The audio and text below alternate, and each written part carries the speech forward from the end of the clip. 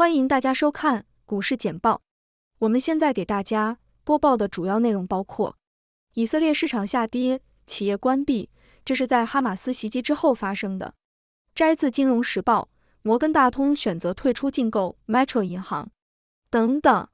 请大家收看：以色列市场下跌，企业关闭，这是在哈马斯袭击之后发生的。路透社。以色列股票和债券价格在周日下跌，原因是哈马斯武装分子从加沙发动了一次致命袭击，导致数百名以色列人丧生，并有人被绑架。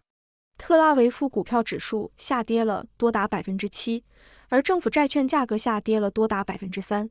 谢克尔已经处于今年最低水平，预计由于这次袭击，谢克尔将进一步贬值。达美航空和联合航空已取消前往以色列的航班，而以色列最大的雇主和出口商英特尔公司则拒绝透露芯片生产是否受到影响。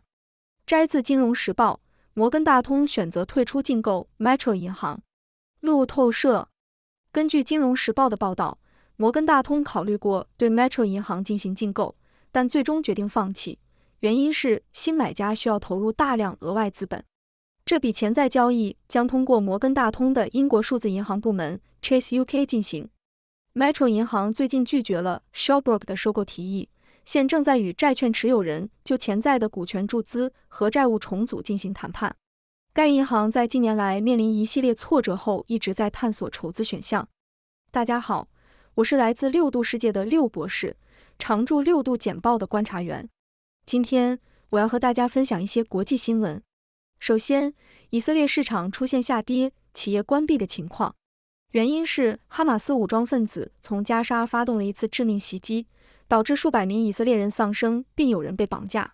这次袭击对以色列的经济造成了不小的冲击，特拉维夫股票指数下跌了多达百分之七，政府债券价格下跌了多达百分之三。此外，达美航空和联合航空已取消前往以色列的航班，英特尔公司也拒绝透露芯片生产是否受到影响。这次袭击不仅给以色列人民带来了巨大的伤痛，也让以色列的经济陷入了困境。另一则新闻是，摩根大通选择退出竞购 Metro 银行的事宜。据金融时报报道，摩根大通考虑过对 Metro 银行进行竞购，但最终决定放弃。原因是新买家需要投入大量额外资本。Metro 银行最近拒绝了 Shelbrook 的收购提议，现正在与债券持有人就潜在的股权注资和债务重组进行谈判。这次交易的退出对于摩根大通来说，无疑是一个失去了一个机会，但他们也有他们的考量和决策。总结一下，这两个新闻都与经济有关。以色列市场的下跌是因为哈马斯的袭击导致了悲剧的发生，给以色列的经济带来了困境。而摩根大通退出竞购 Metro 银行的决定，可能是因为他们认为投资额过高，风险较大。无论如何，这些新闻都给我们提醒了，经济是一个复杂而脆弱的系统，需要我们保持警惕和灵活应对。那么，你有什么样的想法？对于以色列市场的下跌和摩根大通退出竞购 Metro 银行？你有何看法？欢迎大家参与讨论并提问。谢谢您的收看。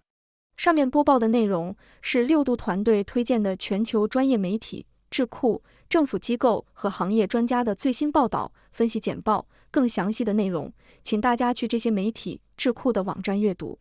这些内容并不一定反映六度简报的立场，亦不能作为任何决策的建议。六度团队由专业媒体人、学者、科学家组成的独立新型媒体，大家可以根据自己的专业要求订阅各种简报。网址是六度 brief 点 com。您在世界任何地方都可以通过电邮收到六度简报。